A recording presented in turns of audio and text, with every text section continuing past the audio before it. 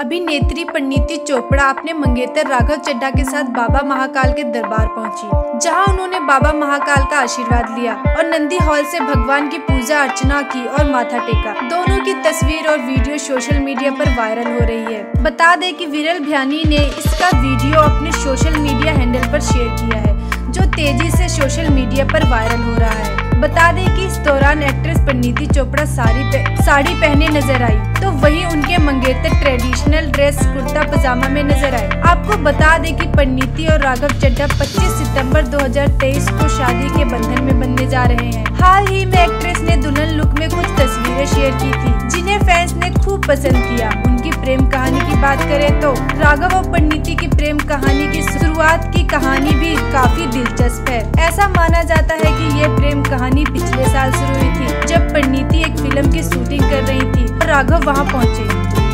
पंजाब में थी और चमकीला की शूटिंग कर रही थी। दोस्त होने के नाते राघव भी परी से मिलने पहुँच गए। रिपोर्ट्स के मुताबिक यही मुलाकात थी जब दोनों को एक दूसरे से प्यार हो गया। उन्होंने एक दूसरे का जीवन साथी बनने का फैसला किया। जरा आप भी देखिए ये खास तस्वीरें।